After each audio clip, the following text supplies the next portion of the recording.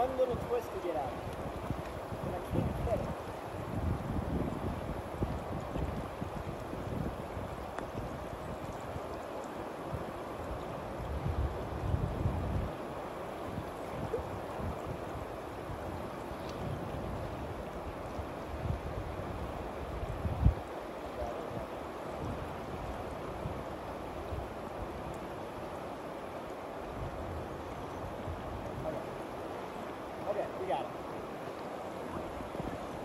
Right, now we'll get him.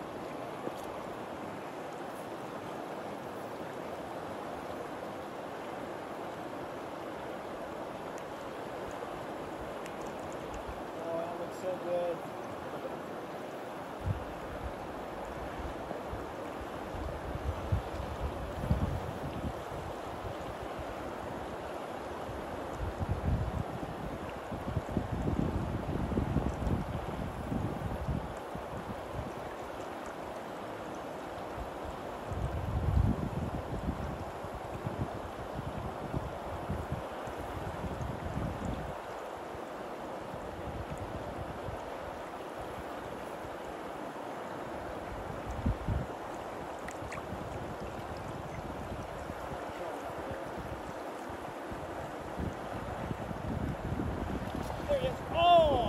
There he is.